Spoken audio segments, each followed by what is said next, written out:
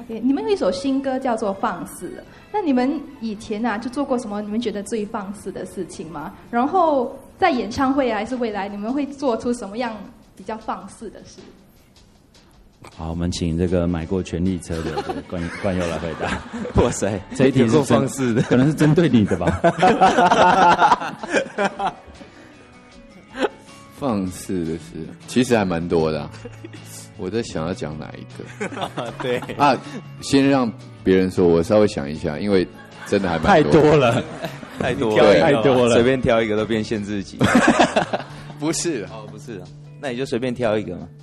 随便挑一个，呃，哦，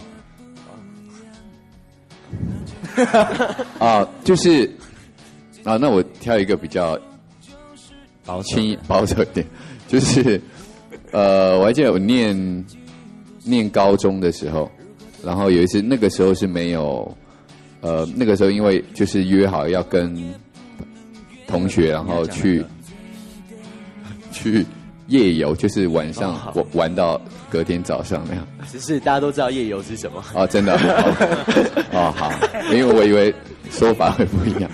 那那然后就是，呃呃，因为我一般摩托车是坐两个人，但是我那时一载载了，我那台摩托车坐了三个人，三贴，对，就是三贴，然后就整个贴到台北的阳明山上面，然后就去看夜景，然后是看。两女一男吗？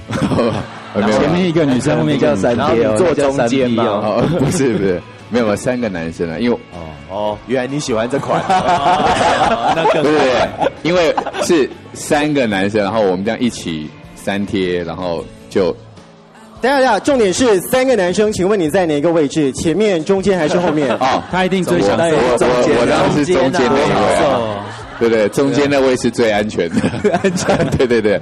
然后安全气最最最奇怪的是，居然是三个男生，然后到阳明山去看夜景，聊心事，然后聊到早上，然后又一起牵着摩托车从阳明山走下山，对。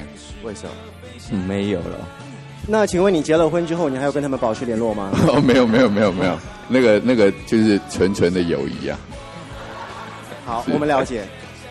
内衣被抛到台上去，等一下，重点是你们会这么做吗？怎么不会啊？因为看两场已经那个钱都花光了，这样 没有钱买内衣穿的，没有钱买新的内衣来丢所以当天来大家都不穿内衣嘛。哦，放肆。我一直都这样子啊，这有什么好惊讶的？对啊，那一天其实还还呃还蛮意外的啦，对吧、因为毕竟呃呃本来其实因为我们以前看那个演唱会录影带，看到邦乔飞的的那个一些遭遇的时候，其实就觉得还当时是觉得蛮向往的啊、但是这成军十年也都没有经历过这种这种场面，这样。那至于什么场面，待会怪兽会帮大家补充的。啊，我们那 MV 一起看的，对，然后呃，对啊，其实还蛮意外的，因为是在是在大陆嘛，在内地，然后对啊，那呃，对，不过要不是你提，我倒已经忘了。